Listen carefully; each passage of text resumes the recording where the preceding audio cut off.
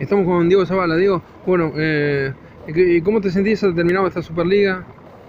No, bien, creo que un balance positivo. Eh, la verdad que, bueno, con la ilusión de ganar hoy para, para poder ah, entrar a la Sudamericana, que es el objetivo, pero bueno, ahora esperar algún resultado que, que si Dios quiere este, podamos coronarlo y que este punto haya servido para eso.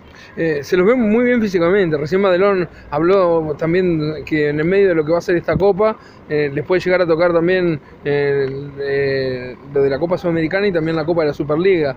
¿Cómo ves esto que tengan que jugar pronto el viaje? No, lindo, lindo porque es lo más lindo de todo, jugar, descansar, jugar, descansar. La verdad que nos preparamos para esto, somos profesionales y bueno, tenemos que estar este, al 100% y creo que el grupo está bien. Hablando de eso, de ser profesional, eh, ¿se, tiene mucho cuidado para ser jugador de fútbol? Sí, normal. La verdad que, llevas una vida normal, pero bueno, hay cosas que, te, te podés permitir hacer, otras que no, y creo que bueno, que si uno quiere vivir de esto, la verdad que bueno, tiene que ser 100% profesional, más en un fútbol como este, que si no, no alcanza. Eh, ¿Te dolería si se tiene que ir alguno de tus compañeros en junio por esto de la renovación de contrato? ¿Es algo normal también que pasa en el fútbol? No, si es para crecer, no, si es para crecer, bienvenido sea.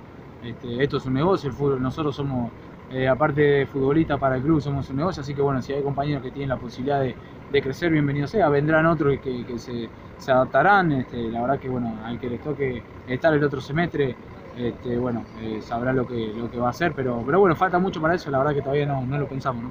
Eh, es un esfuerzo enorme también que está haciendo el hincha en medio de esta crisis económica del país que lo sigue acompañando. Sí, el hincha siempre está, nosotros tratamos de dejar todo, a veces salen las cosas, a veces, a veces no, pero bueno, el hincha siempre la verdad que está.